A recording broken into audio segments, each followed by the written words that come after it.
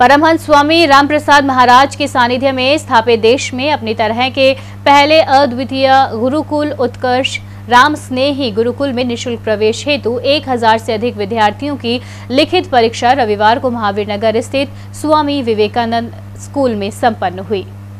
परीक्षा प्रदेश के जयपुर, जोधपुर सहित राज्य के विभिन्न संभाग मुख्यालयों, अजमेर, जयपुर, भरतपुर, कोटा एवं बीकानेर के विभिन्न परीक्षा केंद्रों में ली गई, जिसमें चयनित छात्र छात्राओं को उत्कर्ष क्लासेस की ओर से निशुल्क कोचिंग कराई जाएगी। उत्कर्ष क्लासेस के फाउंडर एवं सीईओ निर्मल गहलोत ने बताया है कि परीक्षा का परिणाम 10 सितंबर को घोषित किया जाएगा एवं 16 सितंबर को साक्षात्कार व दस्तावेजी कार्यवाही करते हुए 20 सितंबर 2021 से वहाँ कक्षाएँ आरंभ की जाएँगी।